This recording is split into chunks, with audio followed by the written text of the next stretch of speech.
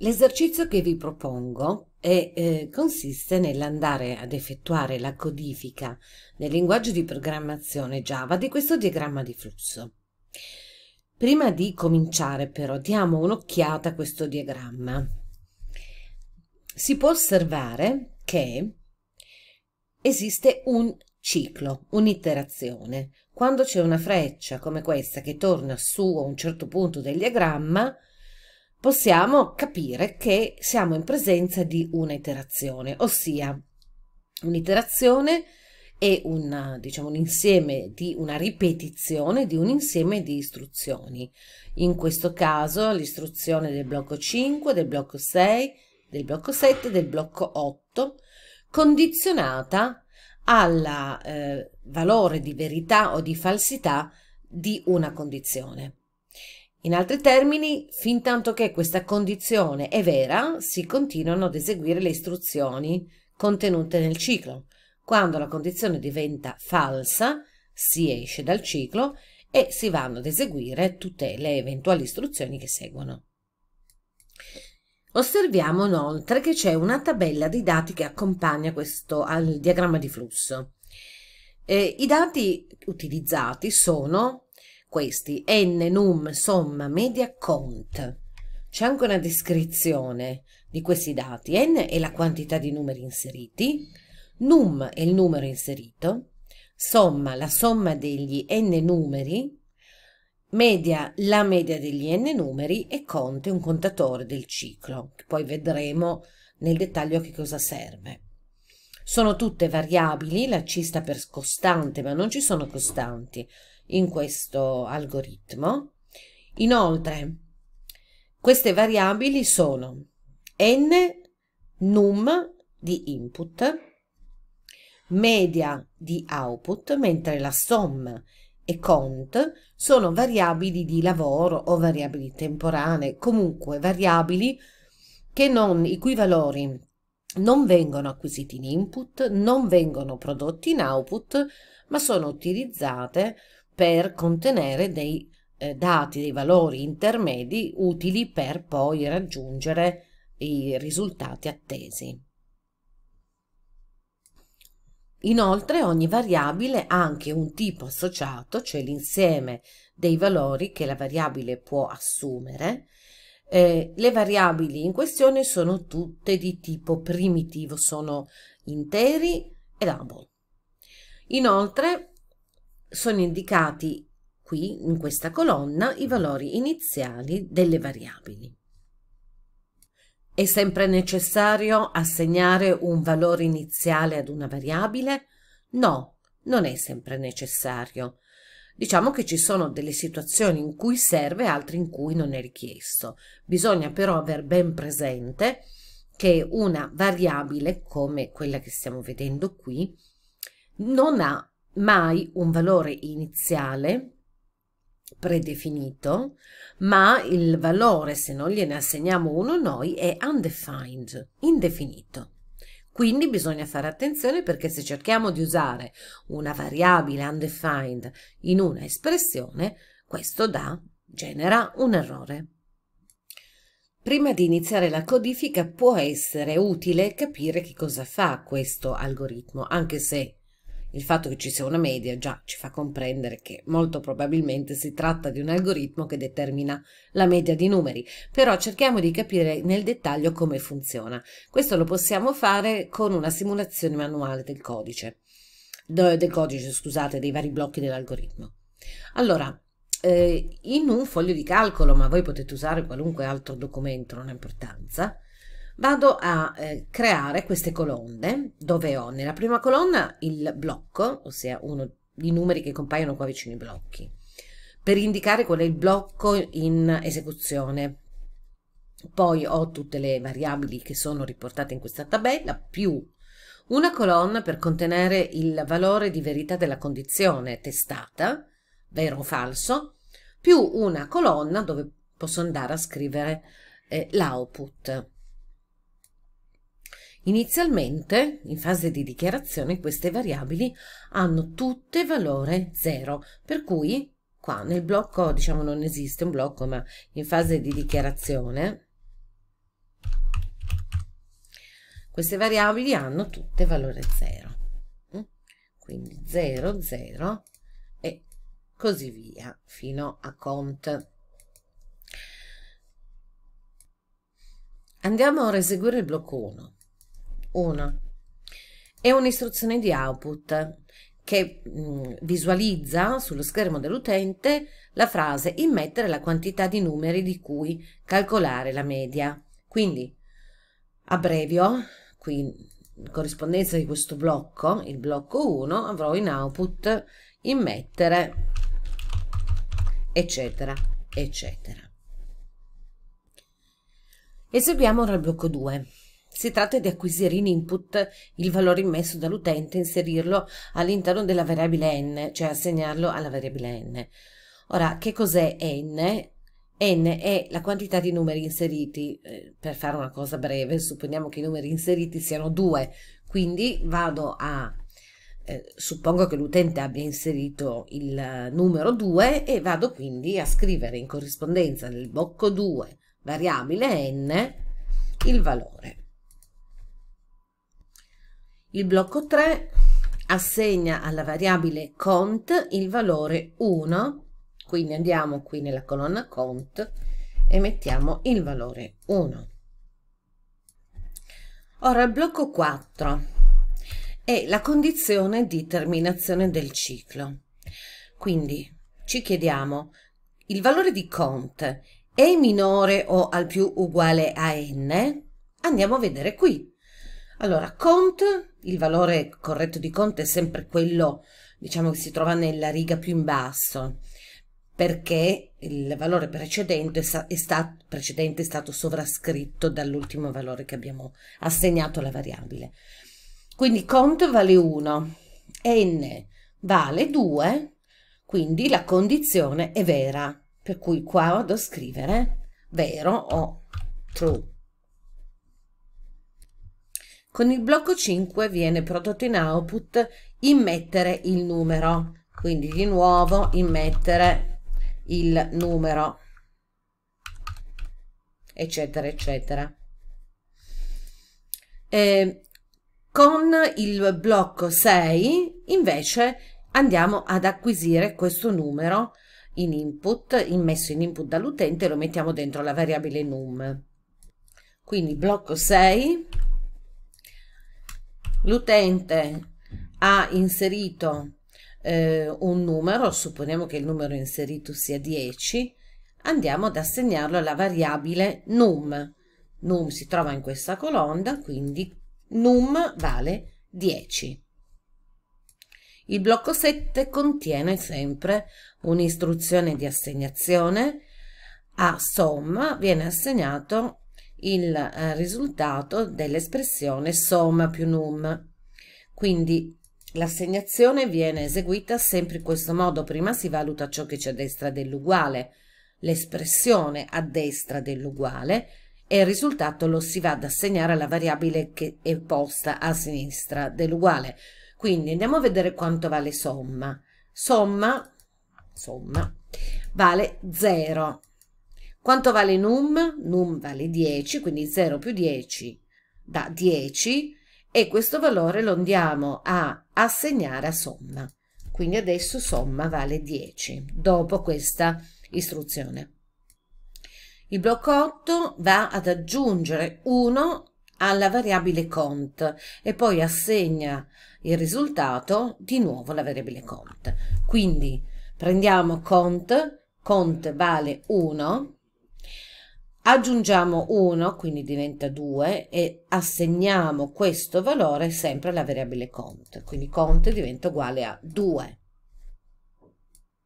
Adesso seguendo queste linee dobbiamo tornare su a testare nuovamente la condizione al blocco 4, quindi siamo nel blocco 4 nuovamente e ci domandiamo cont è minore o uguale a n? Andiamo a cercare il valore corrente di cont e questo è il valore corrente 2 quanto vale n? il valore di n è questo 2 la condizione quindi è vera perché cont non è minore di n ma è uguale. E quindi è vero. Quindi qua vado a scrivere di nuovo true. E continuo quindi ripeto di nuovo l'istruzione 5 che eh, chiediamo all'utente di inserire il numero immettere num. Sto abbreviando naturalmente.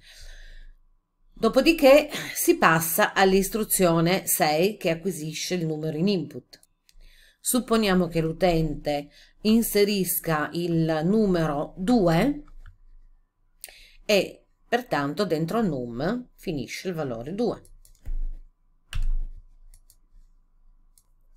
Il blocco 7 andiamo a calcolare somma più num, allora somma valore corrente 10, il valore corrente di num è 2, 10 più 2 12, questo valore viene assegnato alla variabile somma, quindi qui vado a scrivere il nuovo valore di somma. Siamo al blocco 8 andiamo ad aggiungere 1 al contatore, quindi incrementiamo il contatore di 1, il valore corrente di cont è 2, aggiungendo 1 diventa 3 e assegniamo il risultato di nuovo alla variabile cont. Torniamo su alla condizione del ciclo e ci chiediamo se il contatore è minore o uguale a n. Il contatore ha valore 3, n vale 2 e quindi la condizione è falsa per cui usciamo dal ciclo e andiamo ad eseguire il blocco 9. Quindi la condizione è false, andiamo al blocco 9 a calcolare somma fratto n. Somma vale 12, n è sempre 2, 12 diviso 2 6. Il valore di il, risultato di questa espressione lo assegniamo alla variabile media quindi media diventa uguale a 6. Siamo arrivati quindi al blocco 10, è una, un blocco di output dove vengono eh, prodotti in output la stringa media seguita da un uguale e poi qua eh, questa virgola eh, indica che questo output è costituito da due parti, una parte è una stringa e l'altra parte è il valore della variabile media. Quindi media che vale per noi 6, quindi media uguale a 6 sarà l'output restituito. Il tipo di ciclo che abbiamo preso in esame con questo esempio è un ciclo che ha una condizione in testa, quindi è un ciclo de detto precondizionale. In più ha anche un'altra caratteristica, non solo è precondizionale, ma è con contatore. Quando eh, si dice ciclo con contatore si intende che noi sappiamo già in partenza, quindi a priori, il numero di iterazioni che saranno eseguite. Infatti lo chiediamo all'utente, è proprio l'utente che ci dice quanti numeri verranno inseriti, quindi quanti numeri dovremo andare a sommare per poi calcolare la media. Passando al codice, qui c'è la classe media, questa è l'istruzione che ci permette di definire la variabile console con la quale possiamo effettuare l'input standard da tastiera. Ehm, dichiariamo le variabili che sono contenute dentro questa tabella. Allora, sono eh, n, num, somma e cont, n, num, somma e cont sono di tipo intero, quindi davanti metto la parola chiave int e al termine un punto e virgola. Inoltre, se voglio dare loro un valore iniziale pari a 0, posso farlo proprio qui, in fase di dichiarazione.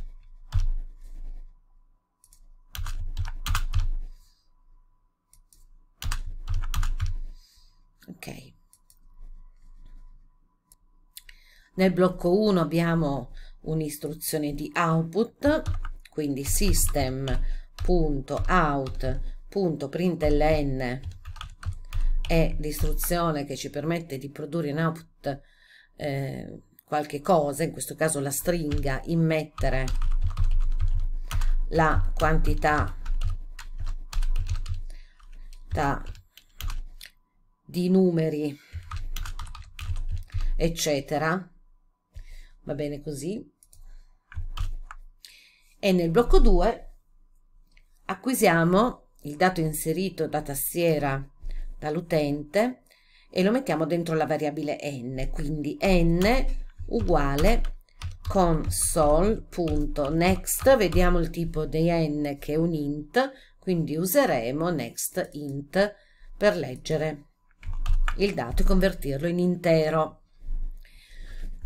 Perché tutto ciò che viene inserito da tastiera è sempre una stringa quindi occorre fare poi una conversione di tipo in questo caso in intero. Il blocco 3 assegna alla variabile cont 1 quindi scriveremo semplicemente cont uguale 1 punto e virgola Ecco qui invece il blocco 4 dove inizia il ciclo. Allora, questo ciclo si può codificare con lo statement while. Poi tra parentesi tonde andiamo ad inserire la condizione cont minore uguale n. Cont minore uguale n. Poi apriamo una parentesi graffa e Andiamo poi a chiudere la parentesi graffa qua, dove termina, dove il ciclo torna su, dove questa freccia torna su, quindi dopo il blocco 8. Per il blocco 5 sempre una system.out.println dove invece di mettere la quantità di numeri scriverò immettere il numero e il blocco 6 è eh, sempre un'istruzione console.nextint perché andiamo a leggere num che abbiamo supposto sia un intero, quindi devo solo scrivere qui num al posto di n. La codifica dei blocchi 7 8 è banale, basta scrivere quello che c'è dentro il rettangolo, quindi somma uguale somma più num e per il blocco 8 cont uguale cont più 1. È possibile utilizzare delle istruzioni abbreviate che vi scrivo qui come commento. Al posto di somma uguale somma più num si può scrivere somma più uguale num. È la stessa cosa. E qui possiamo scrivere cont più più per indicare l'incremento di 1. Ora siamo usciti dal ciclo, abbiamo ancora il blocco 9 da codificare, un'assegnazione a media di somma fratto n e il blocco 10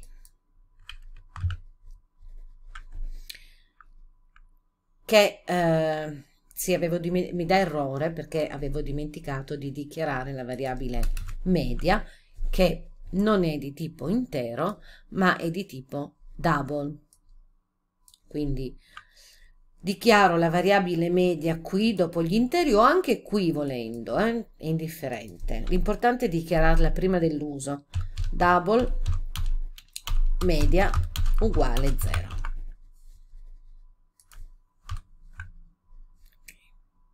Dopo un po' di tentativi sono riuscita a scrivere media Adesso passo al blocco 10 che è un'istruzione di output, quindi copio e incollo e vado a modificare solo quello che mi interessa. Ora devo mh, mm, produrre in output la stringa media, quindi qua scriverò media uguale, lascio un po' di spazi e per andare a specificare anche la variabile media devo usare l'operatore di concatenazione di stringhe che in Java è il più. Non è l'operatore di addizione ma è l'operatore di concatenazione di stringhe quando applicato ad una stringa e ad un'altra variabile. Vado a eseguiamo il codice. Allora in mettere la quantità di numeri inserisco 2 poi il numero eh, avevamo detto 10 e poi 2 e la media è 6 facciamo un'altra prova.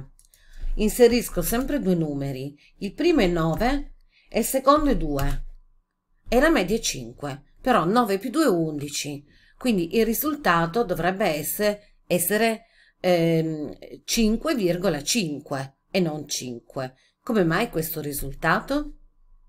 La spiegazione è qui. Somma ed n sono di tipo intero. In Java, quando noi eh, applichiamo questo operatore di divisione a due variabili di tipo intero, il risultato è sempre intero, quindi non riesco ad ottenere il quoziente esatto. Per poter ottenere il quoziente esatto devo applicare il cast almeno ad una di queste due variabili. Come si fa? Basta mettere davanti a somma il tipo double. In questo modo la variabile somma viene che è un intero viene promossa a tipo double e in questo modo il risultato dell'operazione sarà di tipo double. Verifichiamo. Due numeri.